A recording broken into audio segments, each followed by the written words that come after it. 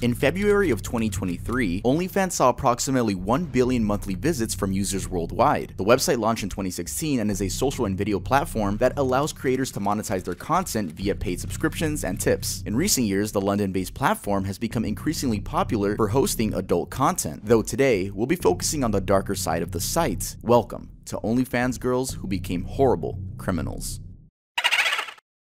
Hey guys, welcome back to another video. Ah, different different room. Ah, this is scary. Yeah, like I said in my last video, moved out of my mom's house. Thank you guys once again. Give me that opportunity. I know it's it's gonna take it's gonna take some time to get used to, believe me. But yeah, we got the YouTube achievements up there. Here, I'll show you guys. Y'all see that? My YouTube achievements up there. We got Danny in the background like always. I mean, as time goes on, I guess I'm gonna be adding more stuff to my room, but I'm gonna get a different light though, because I feel like this light is it's shining downward, so you see like a shadow on my neck. But anyway, we're back. We're finally back, man. I, am I'm, I'm so happy to do these regular videos. Took some time off. The whole moving process was crazy. But very quickly, I'm to give you guys some announcements really quick. So the last restocks of ear candy CDs and cassettes are now up on the website. They're actually signed like last time I signed the plastic on them, but these are actually signed on the thing itself. So sorry to people that bought the others. I mean, you, I still signed it though. I still signed it. Just sign the plastic. And also, the Earl plushie sold out in under 24 hours, and thank you guys so much. Look, I even cried on my Instagram story. Isn't that crazy? Y'all really ride for me, and that is crazy. Thank you guys so much, seriously, with the whole support on Earl. And the last thing is that my podcast with my friends, the Crew Podcast, is finally back on my second channel. That's really it for announcements. Now, let's talk about OnlyFans girls who became horrible criminals. We also have an exclusive interview with an OnlyFans model who is actually at the top 3.2%. So if you think that sounds interesting, make sure to stick around. What if you get older and you have kids and your kids end up seeing that. What if they look up your name out of curiosity on Google and they see you sucking or they're they have a bully at school and their bully's like, "Hey, look, it's your mom sucking what do you do? What's the plan? Also, I was debating on whether I should name this video OnlyFans models who became horrible criminals or OnlyFans girls. I think I chose OnlyFans girls, but I am very aware OnlyFans for any gender. I just want to make that clear. But yeah, that's really it. Let's head on to the video. Courtney Clenney. When it comes to OnlyFans models committing a crime, one of the most prominent cases is that of Courtney Clenney, aka Courtney Taylor. The case contains horrific details about how a tumultuous relationship ended with Clenney facing possible life in prison. In an incident that occurred on April 3rd, 2022 between 4.43 p.m. and 4.56 p.m., Clenney, aged 26 at the time, is alleged to have stabbed her boyfriend, 27-year-old cryptocurrency investor Christian Toby Obumseli, to death. The knife, which she initially claimed to have thrown from 10 feet away, penetrated Obumseli's chest right above where he had a tattoo of her name. The crime occurred at the lover's Miami apartment, where they had just moved in at the start of 2022. Despite being new to the residence, the police had already visited them twice due to the neighbors raising domestic disturbance complaints. The series of images of the crime scene, released in November 2022 by Miami-Dade prosecutors, reveal gory details of the incident. Clenney is seen donning blood-drenched sweatpants, while also being covered in blood on her hands, feet, and part of her nightgown. The images also show some love letters from Obumseli to Clenney. It seemed he loved her a lot given that one of the letters starts with, you're the sweetest and most annoying woman I know. The letter then proceeds into a detailed profession of love where he even describes her as his quote personal sunset. Moments after the stabbing at 4.57 p.m., Clenney made a 911 call and can be heard apologizing to the boyfriend, even as she pleaded with the operator saying, my boyfriend is dying of a stab wound. During the call, the boyfriend could be heard in the background crying out that he couldn't feel his arm. When the police arrived at the scene, they found her holding the bleeding boyfriend in her arms. There was blood everywhere, on the kitchen island, in the master bedroom, the bathroom, and the back of the living room. As they attended to Obumseli, she was ordered to sit out on the balcony where she began kissing her dogs. She was later questioned for about four hours at the local police station, got admitted to a psychiatrical ward, but then was was released just two days later. The release was due to the view that Clenney claimed it was self-defense. In a weird twist of events, just after killing Obumseli, Clenney made wire transfers totaling $1.15 million to her father's bank account. They argued that the money was enough to move out of the country and that her job didn't tie her down to a specific location. It's worth noting that Clenney had made a lot of money through her OnlyFans career at that point. In 2021, she made $1.8 million.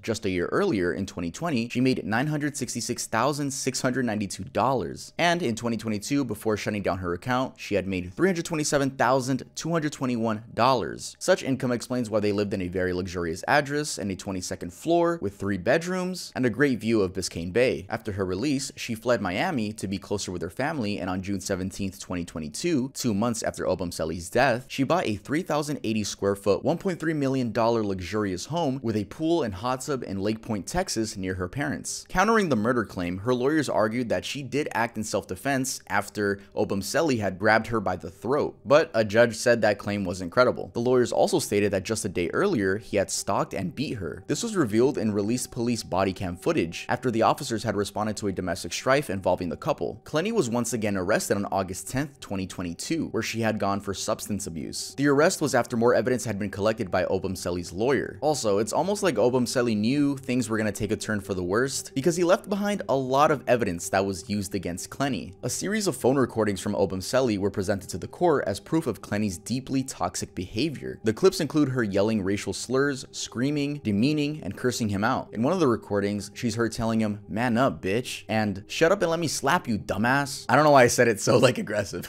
the reason? Well, he apparently didn't tell her that he said hello to a female acquaintance while on a bicycle ride. She even commands him, find my fucking phone and charge it. Larry Handfield, Obumseli's family attorney, said he found the recordings as evidence of someone who is, quote, unhinged and out of control. Further evidence that she was the aggressor is a video of the couple from February 21st, 2022, in their apartment's elevator where she is seen attacking him and trying to pull his hair. Also, in an exchange over the phone, Clenney once told Obumseli, I actually literally fucking want to kill you, which is, uh, not gonna look too great in court. Clenney now faces second degree murder for the crime and is awaiting trial in 2023. Abigail White. This case focuses on Abigail White, aka Fake Barbie, aka Mitzi Lewis, a British OnlyFans model who, following a really toxic relationship and a painful breakup, stabbed and killed her boyfriend, Bradley Lewis, on March 25th, 2021. Before we look into the highly contrasting upbringings of these two lovers, let's dive straight into what happened on that specific day that Bradley died. Earlier in the day, Abigail and Bradley met in a public park, with the meeting having been summoned by Bradley, who had resolved that he no longer wanted to be with Abigail. He informed her of the decision and she was enraged. She clearly didn't take kindly to the news. However, despite the breakup, Moments after 5 p.m., the couple, together with Abigail's friends, were captured by a surveillance camera going into the Horseshoe Pub and then proceeding to the beer garden area. As they began partying, Abigail started acting weird. She was angry, short-tempered, and caused problems with other customers. This was probably the influence of mixing a line of coke and alcohol, and also the pain of the decision that Bradley made earlier at the park. You know, she got broken up with. And Bradley wasn't doing so well himself. A man found him crying in the men's bathroom, claiming that he was scared of Abigail and didn't know what to do. And he also thought that if he left, she would take her own life. I'm guessing she had a history of claiming to do that. It was clearly a messy situation, and the evening, already riddled with chaos, got even worse. Abigail got into a fight with one of the customers. She slapped him and he slapped her back, causing her to fall. She then walked back to Bradley, took his drink from him, and threw it in his face because he didn't defend her. She also spat in the face of a friend who told her to stop bullying Bradley. Maybe tired of the chaos, they all wanted to go home, and so at around 7.50 p.m., Alfie, a mutual friend of the couple, gave them a ride. They argued all the way back, and on arrival, as Abigail stormed into the house, Bradley, who had hung back for a bit, said to Alfie, I'm dead when I get home. Barely 20 minutes after Alfie departed at 8.10 p.m., emergency services got called by a neighbor, Mrs. Kundi. Mrs. Kundi had already responded to a scream from Abigail, and on entering the house, she had found Bradley lying on the kitchen floor with blood covering the hallway and living room. A knife was also on the radiator. Abigail claimed that Bradley had stabbed himself after a heated argument, a story that police didn't believe. Unfortunately, Bradley was pronounced dead at 1.30 a.m. The knife had penetrated his heart. Alright, now let's go back to their childhood backstories. Bradley was a gentle soul all the way from childhood. He grew up in a loving home, with his childhood football manager saying he was one of the nicest kids you could ever meet. And on the other hand, Abigail grew up in an unstable home. While aged just 4 years, her parents split up due to domestic violence. Even worse, her stepdad, who came into her life thereafter, was physically abusive towards her, so she ended up in foster care. All along, she had behavioral problems in school, and due to mental and emotional instability, she got prescribed antidepressants at just 13 years old. Abigail's path ended up with her doing OnlyFans, where, despite a good start, making 60,000 pound in the first year, her popularity dwindled, leading to an income of about 12,000 pound a year later. She, however, managed to survive by relying on Bradley's income. The two had been an item for a while, since they dated from back when Bradley was just 16 years old. They even had three children together. However, their relationship, which Abigail termed very rough and controlling, was mostly turbulent with allegations of cheating. This is well evident given they had a fourth child that wasn't Bradley's. Following the death, Abigail pleaded guilty to manslaughter. She refused to take full responsibility despite the amount of evidence against her. Phone records, for instance, revealed that she had sent hundreds of threatening messages to Bradley. One message from February 7, 2021 read, I swear to God, I will stab you. There was also a damning voice recording where Abigail told a friend that Bradley could only tell the truth when she, quote, beat the fucking daylights out of him. Obviously, I have no limit when I get angry, and like, obviously, he said that I need help with that because people are generally saying to me, one of you are going to end up dead. Like, and I fully believe that I'm quite capable of killing him if he hurts me again, and or I'm gonna end up being in prison. But I don't believe a word that comes out of that boy's mouth. I have to beat the living daylights out of him for him to tell me the truth, and he still don't tell me the truth. He only tells me the truth when he thinks I'm gonna kill him. Like when I get a knife out, like when I stab him, like oh, I just, I just don't get this kid. Equally disturbing evidence is that just about a week before the fatal stabbing on March 19, 2021, Abigail had stabbed him in the arm, causing a massive wound. Bradley had covered for her, lying to the doctor, saying that he had an accident at work. So, where did the case end up? Well, in 2022, Abigail got sentenced to life in prison, which means that she'll be jailed for at least 18 years before being legible for parole. Genie Exum. So the two cases we just talked about have something in common, that being that they stabbed someone to death. And I don't know why that's a, I don't want to say popular, but kind of popular way that OnlyFans criminals have killed people. I don't know, I really don't know how else to say it, but this is another one, this is another stabbing one. In a strangely familiar fashion to the other two, our aggressor, Genie Exum, an Instagram and OnlyFans model based in Manhattan, stabbed her boyfriend, Francis Amor, following a domestic dispute. The incident occurred on Monday, October 18th, 2021 at around 6.45 p.m. at their luxurious apartment. They lived at 10th Avenue, Hudson Yards, Midtown in New York City. The couple had been in a heated argument before Exum took a knife and stabbed Amor. At the time, Exum was 22 while Amor was 30 years old. After being stabbed, Amor staggered into the apartment's lobby where a doorman noticed him and made a 911 call. Both the NYPD and EMS responded to the call, arriving at the location shortly after. He was taken to the NYC Health and Hospital Bellevue and remained in stable condition. Exum had stabbed them both in the arm and the back, and luckily, Amor, who went by the name Bo Baby Boy Pahules, suffered non-life-threatening injuries. Following the incident, Exum appeared in the New York criminal court where she was charged with a Class D felony, assault with the intent to cause physical injury along with a weapon. Interestingly, she didn't even seem phased by the incident since she even took a photo where she was smirking next to an NYPD detective. She posted it on her stories and captioned it, they took my phone y'all, I'm on the trap right now. And now they don't stop me and I get locked up. She said Akon's locked up as the, you know, the Instagram music thing for the story. In an equally carefree fashion, while leaving the courthouse, she had told a reporter, subscribe to my OnlyFans. But such behavior is no surprise, as it's consistent with her social media personality. On OnlyFans, for instance, she describes herself as a, quote, free spirit from Alabama with a loud mouth and dirty mind. The free spirit ideology is probably why she was so popular both on Instagram and OnlyFans. On OnlyFans, she had been charging $20 per subscription, but she put a 50% sale to thousands of her fans. On Instagram, where she often posted lewd photos of herself, she had 35,000 followers and gained 10,000 more following the stabbing incident. How lewd were the photos? Well, just a month before the incident, she had garnered a lot of followers after posting a photo where she flashed her breasts in front of an NYPD car with the caption, caption this. Her following has grown significantly in the last two years, as she currently has over 293,000 Instagram followers and about 641,000 likes on her over 1600 posts on OnlyFans. Exum, while not having a criminal record at the time, was however not new to violent behavior. In October 2018, while living with her cousin in Phoenix, Alabama, in a fight over money, she hit her with a liquor bottle on the head, knocking her to the ground. Her cousin, Marlo, never pressed charges despite suffering facial bruises, cuts on the arms, a ripped nail, and a death threat. So, did Exum get sentenced for her boyfriend's stabbing? Well, just like her cousin, her boyfriend ended up dropping the charges against her. She was in jail for just just a night. Later, in an interview with Barstool Sports, she said that in hindsight, the situation was more serious than she had thought and she learned her lesson. Titus Lowe. Alright y'all, remember when I said I wanted to name the video OnlyFans models instead of OnlyFans girls? We actually have a guy on this list. Yeah, we are gonna differentiate. OnlyFans girls just sounds better as a title. That's it. Alright, moving on from the stabbing stories, this next one is a great example of why being aware of your country's laws, however absurd they may be, can save you jail time. The story is about one of Singapore's most successful OnlyFans creators with over 210,000 social media followers, Titus Lowe. Now, despite the large following, the well-known influencer was quoted saying that he had been struggling with money in the period leading up to 20 2021. He had thus decided to join OnlyFans in order to improve his earnings. He signed up for the platform around April 2021 and began posting content. His content did well since between April and October 2021, he made 240,979 US dollars from his 1900 subscribers. This success, however, lasted until October 2021, when a person reported to the police that they found a video of Lowe performing a sex act on their 12-year-old niece's phone. Immediately, the police responded, confiscated his phone, iPad, and the details of his OnlyFans account. Think it's worth noting that he didn't send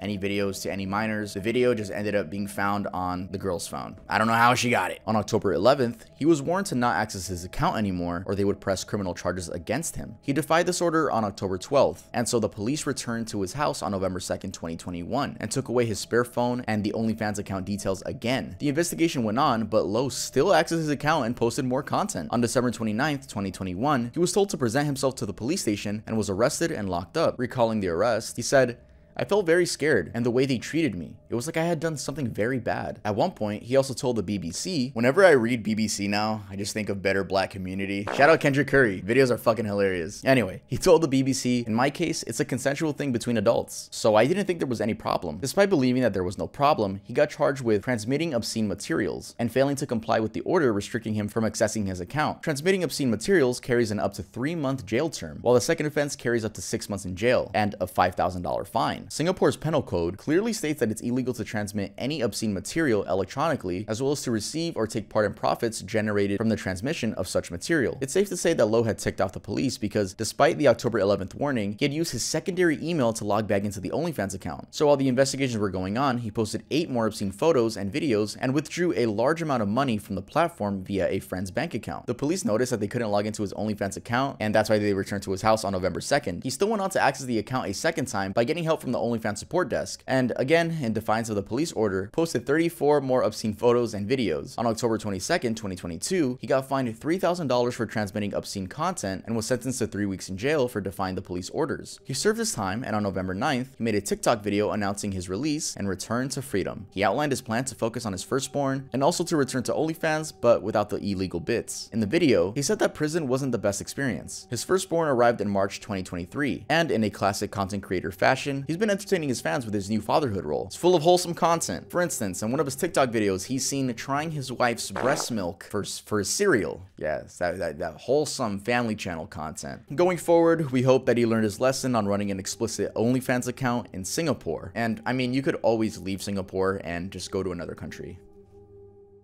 Celina Powell. Some people get in trouble to gain clout, and clout is a good way to stay relevant. One such person is Celina Powell, a Miami-based OnlyFans model, who has built herself a reputation as a quote black widow for making claims about her alleged sexual escapades with rappers. There's a lot to talk about with her criminal past, but let's just start with the most recent one. In 2021, Powell was arrested and charged with habitually driving on a suspended license. The arrest was made on Monday, March 8, 2021 in Miami after she was caught making a right turn without using the blinker. The police were actually willing to let her go with a warning, but then they proceeded to arrest her after discovering she was driving with a suspended license. She was taken to jail, and in a classic I don't care fashion, the next day, on Tuesday morning, she tweeted, I went to jail again, LMFAO. Her license had been previously revoked in Colorado. Why was it revoked, you may ask? Well, unsurprisingly, it was because she had been a traffic offender in that state. Traffic violations aside, a year earlier, in May of 2020, she'd been involved in an altercation with Tory Lanez over claims that she had messaged him on Instagram and made fun of his hairline. As bizarre as that sounds, it led to a police incident report after Powell claimed that Lanez, together with his rumored girlfriend, Kaylin Garcia, had accosted her at the Miami condos where they all stayed and caused her physical harm. It's also very evident that controversy is in her nature, given that before the Tory Lanez incident, she had made several false claims against other individuals for clout. Among her most controversial stories was when, in May 2018, she appeared on DJ Akademiks Stream and confessed that she lied about being pregnant with Offset's child for a whole nine months. In the interview, she said, once again, there's no baby. Get over it. Suck my dick. She also lied about being paid $50,000 by Offset to get an abortion. Powell has also been arrested many times before. On December 29, 2018, for instance, she got arrested for different crimes after bounty hunters caught up with her at a hookah lounge in Colorado. The crimes included shoplifting, evading the police, and traffic infractions. She had outstanding bonds worth of $61,000. Also, in June 2022, she was arrested for violating probation terms. She had been mandated alcohol and drug tests by the court after a 2015 arrest, where she was a getaway driver in a theft. Surprisingly though, she got released in July of 2022.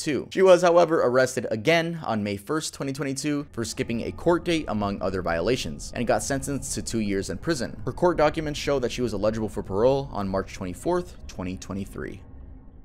And now let's head on to an interview with an OnlyFans model. Like I said in the intro, she is part of the 3.2% of OnlyFans. She has 400,000 followers on Twitter and she's actually a subscriber of the channel. I found her on Twitter. She would just reply to my tweets and I figured, wait, I'm making a video on this. This would actually be a really cool interview. But yeah, make sure to support her. Her ad's gonna be in the interview and I really got nothing else to say. Let's head over to that interview. Hey guys, so here we are at the interview portion of the video and we're going to be talking to Luna. So I thought it would be fun to ask some burning questions. I think this will be a nice way to give a sex worker a platform and get rid of some stigma. We have our first question. How old are you? I am 20 years old. And how did you get into OnlyFans? And how old were you when that happened? Oh, so I got into OnlyFans when I was about I it was one month after I turned 18. I already had OnlyFans in the back of my mind like when I was 17, but I really like went with it when I was 18. And for my first year, that shit was dead. But once I was um at a different point in my life, I actually needed the money to like, you know, get my first crib that's when I started taking it more seriously in my second year. So you're actually top 3.2%. Is that the actual statistic? 3.2%? Yeah, I kind of moved like between like 3%, 4%, but you fell off. No, I'm playing. okay, so when you say that it was only a month after you turned 18, you weren't thinking about a 9 to 5 or you just went straight to sex work? Oh, that's a good ass question, actually. So I actually did have a nine to five at the time. I was working at for a daycare center. Whoa, and, that's um, a crazy transition, like daycare to OnlyFans. Yeah, I was I was working with elementary school kids. Yeah, I had a nine to five at the time. I was just focused on that. I st- once I started my OnlyFans, I was like, hey, this is like some good passive income. But I still didn't take it serious for whatever reason. I still had a limiting belief, like I got to work hard for my money. So that's why I had a nine to five job, but once I released that limiting belief, like, okay, how can I like work smarter, not harder? That's when I started for real, like posting more on OnlyFans, like promoting that whole, starting a Twitter, and all that glam and shit. Speaking of your Twitter, I'm sure it was a slow and steady rise, but I noticed that on Twitter you got 400,000 followers. That's a crazy ratio compared to your Instagram where you only have like a thousand. I understand you you recently made your Instagram, but that is a wild ratio. So I'm gonna assume Twitter is probably the best form of promotion. Yeah, you got that right. Once I started my OnlyFans and started taking it seriously in the second year, I was looking up YouTube videos and shit. They was talking about Twitter. And Twitter is definitely the only like sex worker safe platform other than Reddit. Reddit is confusing. That's why I love to stick to Twitter.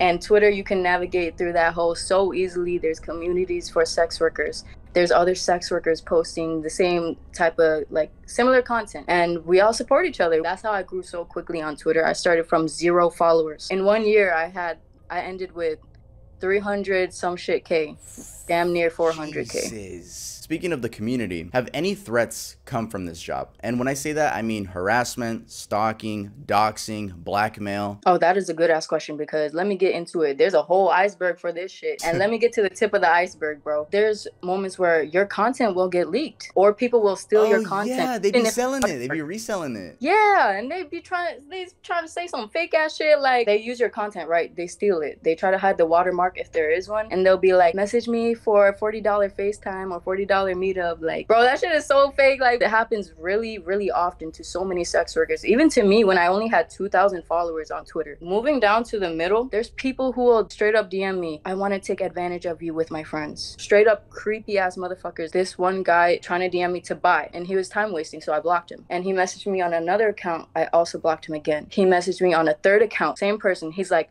block me again and watch what happens. And I posted it in a sex work safe community. And this girl comments like, yeah, he sent that shit to me too in my DM saying that he's gonna hack me if I block him again. And just straight up harassing sex workers is just really not cool, bro. Nah, he that boy is a cap for real. But that's just the middle of the iceberg. Like moving down to the deep abyss, bitch.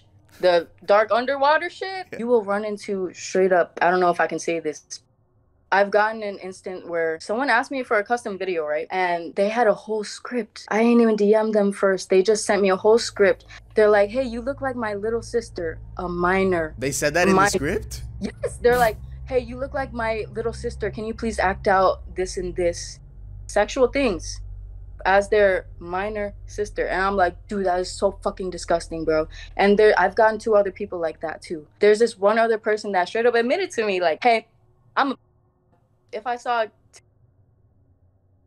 I'm gonna f them, you know, and that was Bro. so disturbing. That's one of the most disturbing things that I will run into on Twitter or sex work in general when people will DM me those horrible things. It's something people wouldn't even think that would happen to sex workers or just shit like that, but there really be those creepy ass motherfuckers. The self admission is crazy. For real, how are you bold as hell admitting to my DMs that you're a I trust me, I reported all of them. That's like the dark side of Twitter and dark side of like sex work in general. There are some creeps looking for like some creepy ass shit like that, and you gotta stay far away from there. People seem to not take sex work seriously or look down upon it.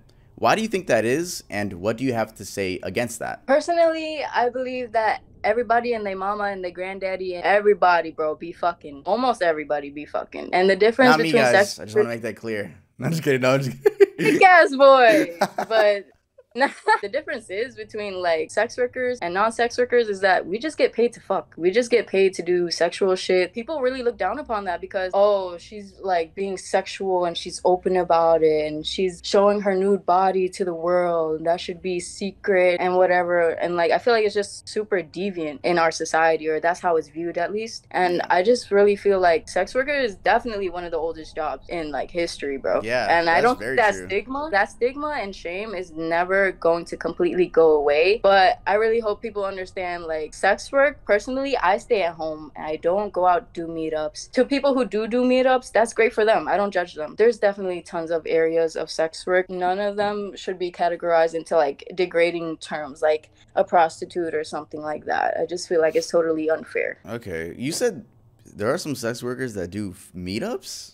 Really? Yeah. That's fucking yeah. dangerous. It is dangerous. I would never consider it personally, but I do see people on Twitter offering to do meetups. Since you are at the top percent of OnlyFans, did the amount of money shock you when you started seeing like your OnlyFans blow up? Bro, yeah. When I wasn't taking it seriously, I would get like one subscriber a day, and I was already like, oh, someone subscribed. And how Yes, much were yes. they paying? It was mostly for just like the subscription fee, and that was fifteen dollars a month, and it still is. But I have do, like do you get like a is there like a percentage split because there is on twitch you know you get like yeah. so what's the percentage split on onlyfans For OnlyFans, it's twenty percent. They take twenty percent okay from you. okay okay, okay i'm guessing it's the same amount of time when your twitter was blowing up your onlyfans was also gaining traction so you saw that Yeah. money you're just like is this is this real Yeah, I was like, I didn't even know this could even be a thing, like to make money from this. Because when I first started, I was mostly making money from buyers on Twitter. I was selling dick rates. I was selling like solo pictures. I was sending videos. I was selling a lot of shit I never would have thought, and it was mostly like dick rates. Like Really? literally me typing Do- what I think about their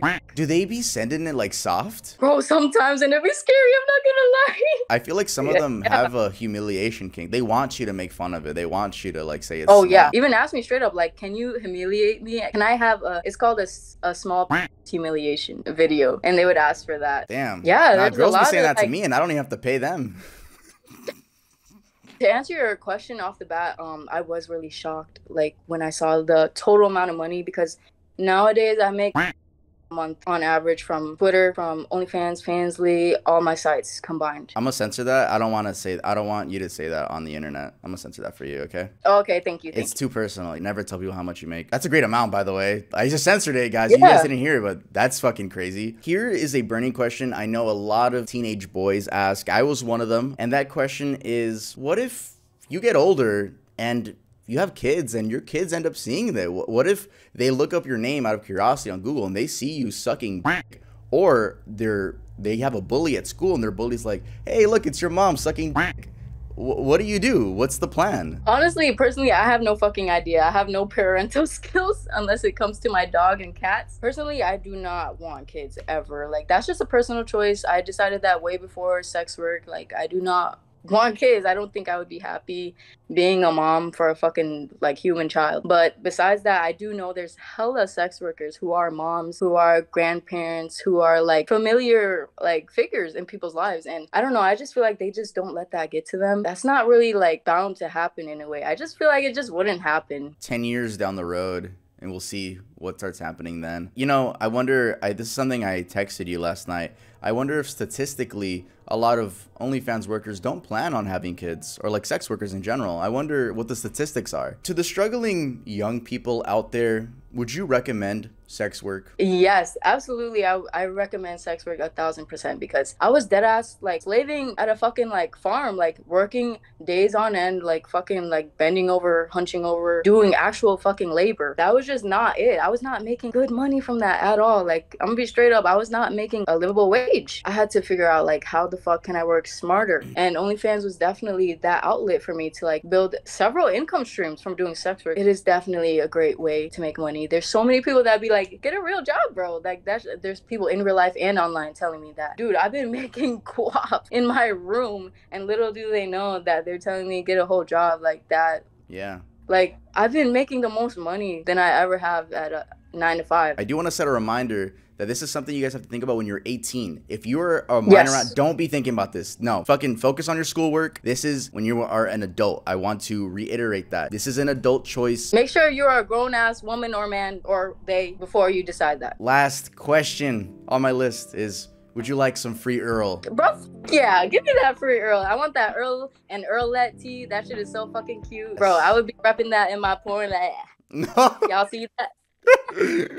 yeah, yes. I, I, look forward to seeing that on Twitter at some point. Everyone go to earldoesn'texist.com. Buy that shit right the fuck now. Y'all go buy Tuv CDs and cassette tape, bro. He signed that shit personally. That shit's about to sell out, so get that motherfucking shit before it's gone. Exactly. It's the last of the ear candy era. We're moving on to a different project, so this is it. I have your socials right here on the screen. Everyone, make sure to go support her. Go follow her on Twitter. Thank Following you. on Twitter is free. You, you guys can do that one and Instagram. And make free sure to go check out her OnlyFans. Of course, you're 18. Be yourself, be positive, learn how to let go, learn how to have fun, and just, yeah, be great. That's it for the interview. Let's head on to the outro.